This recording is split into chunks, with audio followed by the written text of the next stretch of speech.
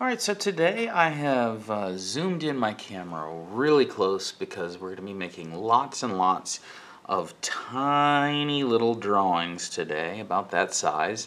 Little cartoony character creature things. Welcome back to Mr. New's Art Class. It's wonderful to see your smiling faces today. This is another simple project that you can do from home while you're stuck and you can't go to school because of the coronavirus. All I'm using here is just a simple sheet of lined paper and a regular number 2 pencil. But this could be done with any supplies. It could be done with a ballpoint pen or a Sharpie or marker of any kind or pencil or crayon, whatever. And it doesn't even have to be on lined paper. You could make your own lines on a sheet of copy paper, whatever you got lying around. Maybe an index card, whatever. As you can see, what I'm doing here is just making little faces, little characters, little creatures, and they, uh, the lines on the paper are sort of acting like little walls that these characters are hanging their claws or their fingers or their hands over. There's really no wrong way to do it. Make them up as you go.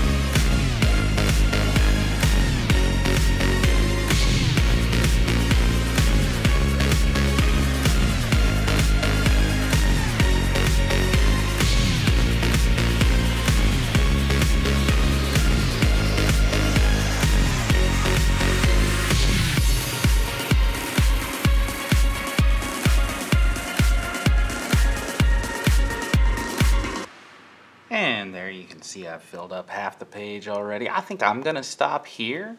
The idea here is just each line, anywhere where you have a line, you've got um, like a hand reaching over that, like that line is a wall, so it overlaps. Or maybe you have some kind of creature standing on it or climbing on it or climbing up from one level to the next. Uh, this one looks a little nervous because he's watching this guy climb over, and then there's like a fight going on between these two guys, and this guy's just looking the other way. Little different different styles of creatures. We got feathers. We got like fishy scale kind of things, webbed feet, spikes, whatever, you know, you just roll with it and enjoy it and make it however you want.